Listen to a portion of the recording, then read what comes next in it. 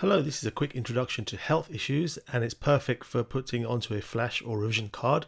Uh, I like to use green for biology and A6 seems to be about the right size.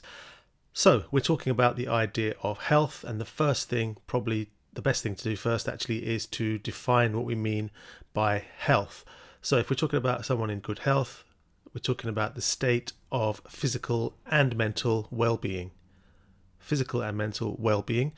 And there are different factors that can affect health. The first one is obviously something like disease. So, if somebody has a disease, that's going to impact their health.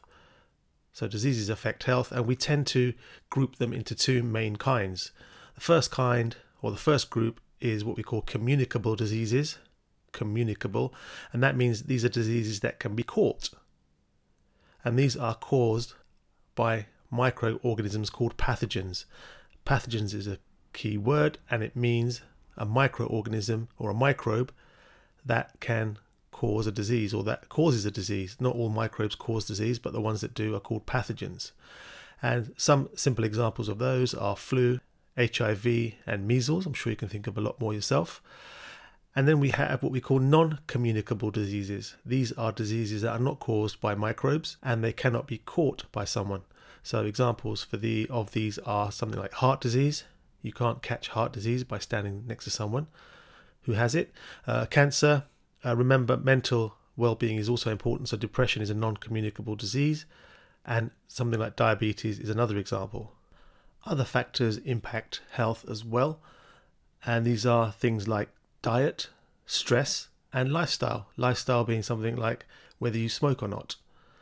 There's also one more point that we need to make, and that's the fact that some diseases can interact with each other or interact with other diseases. One example would be that if you had a disease of the immune system, and one common example of that is HIV, but if you had a disease of the immune system, that's going to make you more likely to catch other diseases that are caused by microbes because your immune system has been weakened. So that's an example of diseases interacting. There's another example where we have viruses that can actually cause cancer because they interfere with the DNA of the body.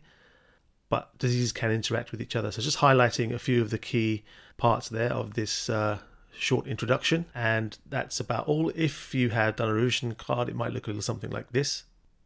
There you go. And that's about all. This was a short introduction to the idea of health. We're going to look at it in a bit more detail in upcoming videos.